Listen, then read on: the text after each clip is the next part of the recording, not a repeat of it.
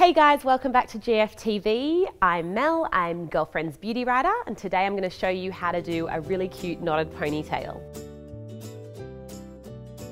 This is an awesome look for going to school because it looks really hard and you'll impress all your friends, but it's actually super, super easy and it's great to disguise a bad hair day. First up, separate your hair into two sections, one at the bottom and one at the top. Then you want to weave these together into a knot. Once you've done that, add a second knot in. It's okay if it looks a little bit messy because that's kind of the style.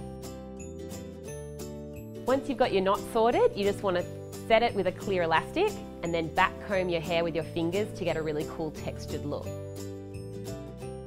Once you've got your texture down, just take one piece of that pony and wrap it up around the clear elastic to hide it. Secure it with a bobby pin going up into the knot. Done! See how easy that was? A cool knotted ponytail, perfect for school. This look is awesome for school. Oh, bleh. I went to go back to school, hang on.